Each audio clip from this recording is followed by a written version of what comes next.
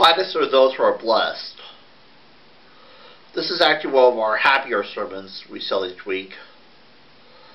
And our young girl approached it last week. He said there are 846 happy texts in the Bible. I know because I spent most of the night counting them. Um, and I sh should give one each week. It should take a total of 16 years if we're still here.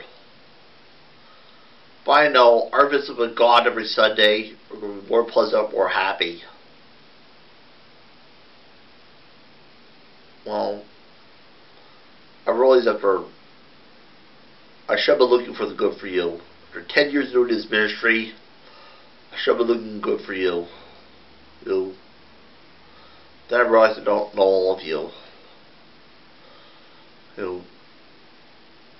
I realized after 10 years doing this ministry, I don't all of you.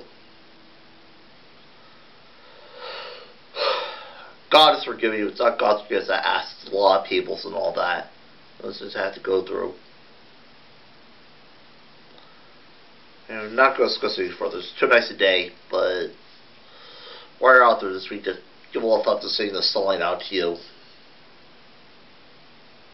Oh, um, there's a charity circus this week for a good cause. It's raised money for the hospital, and we'll let's have ourselves some fun. If you're not there, if you're not there, I'll let somebody fierce when you here next week.